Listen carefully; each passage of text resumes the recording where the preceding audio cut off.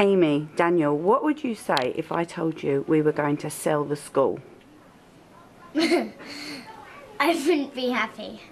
What about you, Daniel? I would go mad You go mad. Why?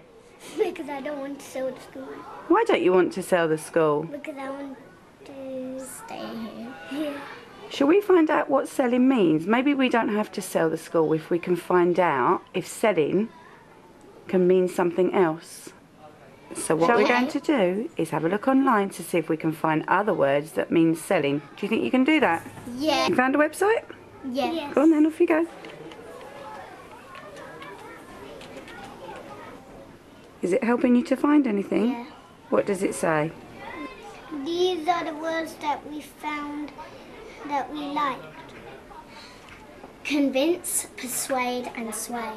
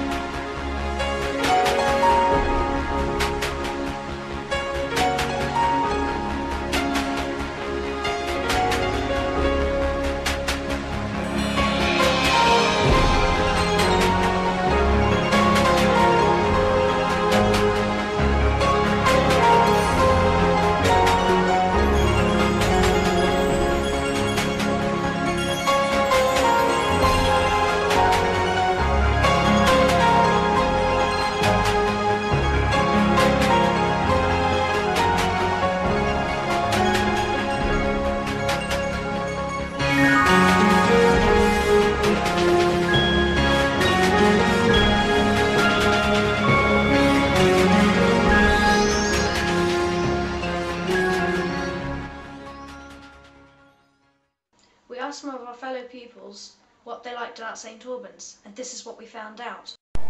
What I like about St Aubyn's is um, there's loads of things to do, and I like playing football and cricket.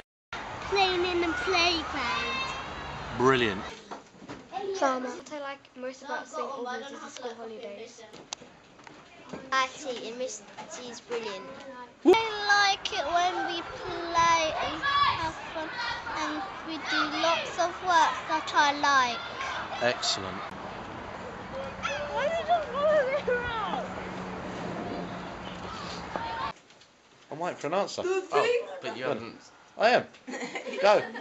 I guess the thing I like most about St Aubyn's is the English department. The playground. Right, what do you like most about I like playing in the classroom. Sport! I like playing in my classroom and playing in the playground. Great. Do you like your teachers? Yes. I like the teachers about St Aubyn's. And who's your favourite teacher?